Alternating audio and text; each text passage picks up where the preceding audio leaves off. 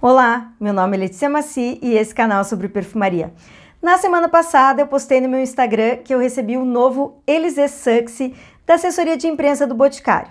Desde que eu recebi esse perfume, eu já tive tempo de usar bastante e fazer a minha avaliação sobre ele, e hoje eu vou contar tudo para vocês. É importante falar que apesar de eu ter recebido esse perfume, isso não influencia em nada a minha resenha. Isso não é uma publicidade e vocês sabem que eu só falo aqui no canal daqueles perfumes que eu realmente acho que valem a pena serem experimentados. O Elise Suxy vem no mesmo frasco dos outros perfumes da linha, mas com essa pintura interna em preto que ficou muito elegante e sofisticada. A primeira borrifada do Elise Suxy me transportou imediatamente para o tapete vermelho. Eu imaginei usar ele numa festa com um vestido bem glamuroso. Mas, ultimamente, por causa da pandemia, a gente não tem tido eventos do tipo tapete vermelho para ir. Mas isso não significa que a gente não tenha vitórias para celebrar. E esses momentos especiais em que a gente conquista algo que é importante para a gente, como por exemplo uma promoção no trabalho ou alcança uma meta pessoal, pede um perfume memorável. Mas Letícia, o que é um perfume memorável? É aquele perfume que vai te ajudar a criar a memória olfativa de um momento ou fase da sua vida para que sempre que você sentir esse cheiro, você possa reviver o sentimento desse momento especial. Quem não tem um perfume que quando usa lembra do primeiro emprego, ou do casamento, ou de quando nasceu o filho e sente a alegria de reviver esses momentos importantes através do cheiro? Isso é um perfume memorável. E eu achei o Elise Suxy perfeito para criar uma memória olfativa associada a alguma coisa boa que possa estar acontecendo nesse momento na sua vida.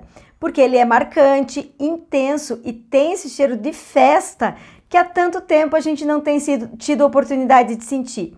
Ele é um perfume diferenciado, não é mais do mesmo, mas ainda assim tem versatilidade.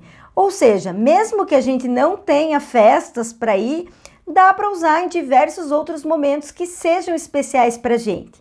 Quando a gente fala sobre um perfume memorável, é aquele perfume que a gente usa para marcar uma situação ou um estado de espírito.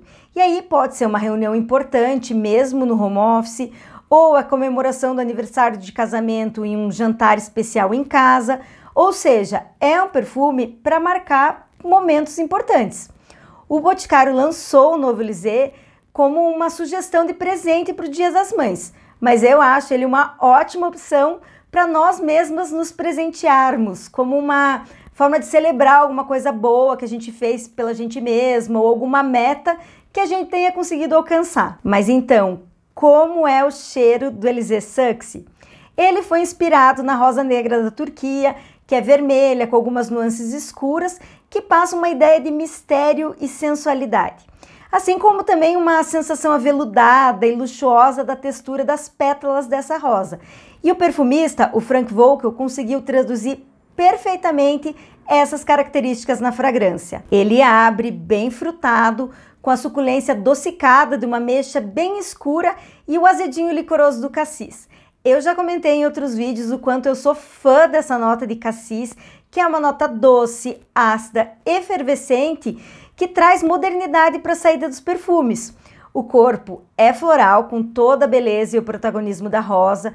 Tem outras flores como a peônia e a frésia que são mais leves e deixam esse corpo floral ainda mais robusto.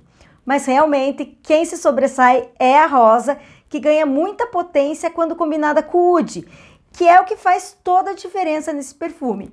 O é uma resina extraída de uma árvore que tem nuances amadeiradas e ambaradas e que é muito utilizada na perfumaria árabe, mas que já vem sendo usada há algum tempo em alguns perfumes nacionais.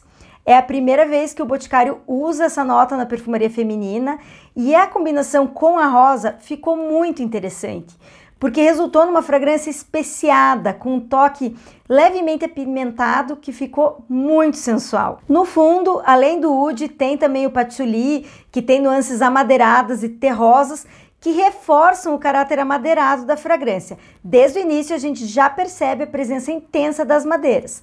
E também tem baunilha, mas aqui essa baunilha vem mais escura, densa, como se tivesse sido um pouco aquecida. Essa baunilha, combinada com esse acorde especiado de rosa e oud com o patchouli, pode remeter a perfumes orientais. É como se o Elise Suxy estivesse em algum lugar entre os perfumes árabes que tem bastante oud, e os orientais, que levam baunilha, resinas, especiarias e patchouli. Mas ele não chega a ser tão denso como os árabes e nem tão opulento quanto os orientais. Olfativamente ele remete a esses perfumes, mas na prática ele é mais versátil.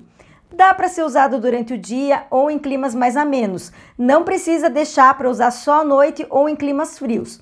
O importante é sempre dosar nas borrifadas para que você se sinta confortável. É um perfume misterioso, luxuoso e compartilhável. Sim, vai cair muito bem em peles masculinas. Vale a pena experimentar para ver como fica. Muita gente me pediu a resenha do Elise Success no comentário do vídeo do Uno Infinito da Natura para saber se eles são parecidos. Não são. Apesar de terem a mesma proposta visual, com frascos escuros e fragrâncias intensas, com a nota de ameixa na saída, olfativamente eles não se parecem. O Uno Infinito é um floral branco super adocicado com o protagonismo da flor de laranjeira, enquanto que o Elise Success tem a rosa como flor principal e é bastante amadeirado por causa do oud e do patchouli.